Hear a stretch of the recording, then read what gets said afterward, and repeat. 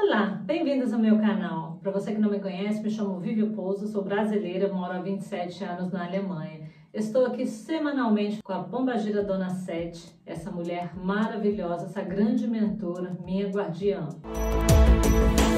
No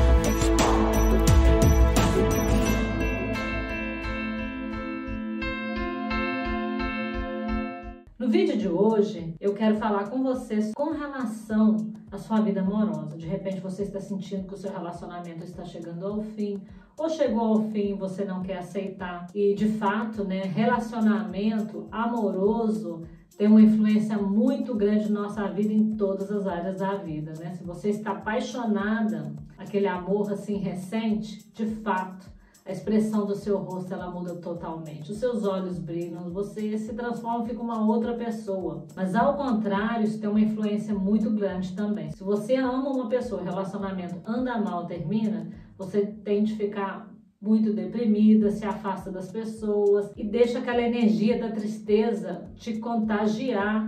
E isso é muito perigoso, porque você pode acabar né, prejudicando outras áreas da sua vida. De fato, que nós que somos cartomantes ou coaches de relacionamento, sabemos né, que a maioria das pessoas procura um psicólogo ou procura um coach, né, ou uma pessoa de religião. 90% dessas questões são amorosas, verdade. O 10, e 10% por causa do lado financeiro. Mas de fato o problema né, das pessoas é o amor. E é preciso a gente ter um, um autocontrole emocional muito grande para não permitir que isso destrua as nossas vidas, porque às vezes você está num relacionamento que ele tem que terminar. Todo ciclo tem um final, né? Para iniciar um outro ciclo. E tem situações que você até sabe que o relacionamento ele tem que terminar, mas você não consegue aceitar porque você é muito dependente emocionalmente da pessoa e isso é muito perigoso porque se torna uma questão repetitiva.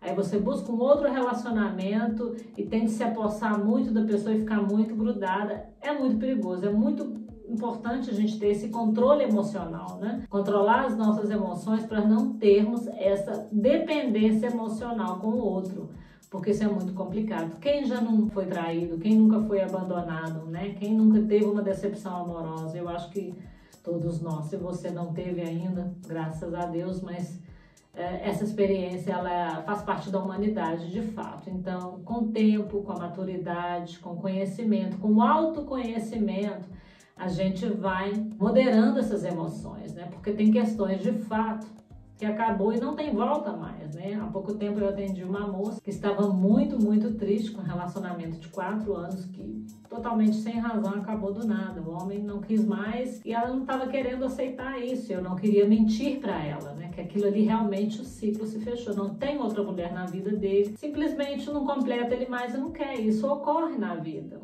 E ela não queria aceitar isso de forma alguma. Ela naquele momento seria capaz de fazer qualquer coisa, né? para tê-lo de volta. Foi tão deprimente a situação dela que ela estava se submetendo a grandes humilhações de ele chamar ela para casa dela, ter relações sexuais com ela, dizer para ela que não quer mais compromisso e ela se submeter naquelas migalhas. Então, assim, não é uma questão de orgulho, uma questão de amor próprio. Se você está vendo que o outro não quer, só te procura para sexo, para se divertir, mas terminou o relacionamento sério, fala para as pessoas que terminou e continua de pegada escondida com você, eu acho que ninguém merece ser tratado dessa forma. Então é preferível você passar por uma situação dolorosa, que é um processo de crescimento, de amadurecimento e autoconhecimento também, né? Porque você está ali naquela provação da tristeza de perder alguém que você gosta demais e você cresce com aquilo, você se conhece.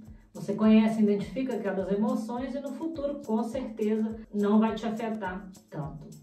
Espero que vocês gostaram do vídeo de hoje, tá? Relacionamento realmente é algo que mexe muito com o emocional da gente, mas com o tempo a gente vai amadurecendo e vai tendo muito mais autocontrole dessas questões. Fique em paz, mude o que tiver que mudar e até a próxima semana. Tchau!